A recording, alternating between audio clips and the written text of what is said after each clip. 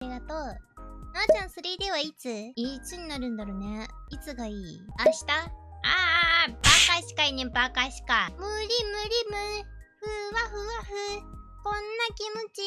まあ、いいメロディー。V スポで 3D はね、スーちゃんとナズちゃんだけあったね。でも全部、全部新しく。そう、今運営さんが休みのない日々を送りながら頑張ってるよ。まあでも 3D できたからといって頻繁に 3D 配信するわけではないんだけど、幅が広がるよね。3D 配信で焼肉食っちゃダメかななんか忙しそうでそういうこと聞くのもまだ先になりそうだしな。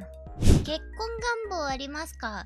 あ、僕これ、つーちゃんとなずちゃんに聞いたやつか。僕ね、あんまりない。あんまりないんだけど、でも ウェディングドレスは着たいっていう願望がありまして、矛盾してるんよな。一人で撮ろうかな、もう。そう、僕、将来がちょっとおじいちゃんおばあちゃんになっても手繋いで歩くだから、とりあえず、隣にじいちゃん必要なんだけど、今んとこそういう願望がなくって、でもさ、最近 TikTok でさ、なんだっけ、80歳、90歳、60歳のおじいちゃんおばあちゃんが、なんか、ウェディングドレスとスーツ着て、家族にわーっつってお祝いされてる動画が流れてきて、素敵やんみたいな。えちょっと待って。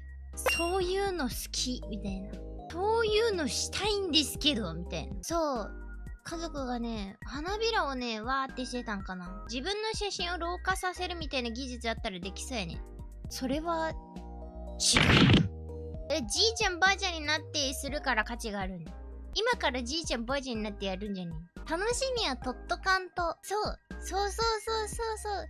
深く一緒にいたからこそ、ばあちゃんになったら田舎で暮らしたい、都会で暮らしたい。えー、僕は都会派かな。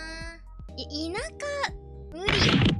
ただでさえ外出たくない人間なのに、田舎引っ越したらマジあと死ぬだけだぜ。僕は、ばあちゃんになったら、あの、コインメダル、メダルゲームを趣味にするから。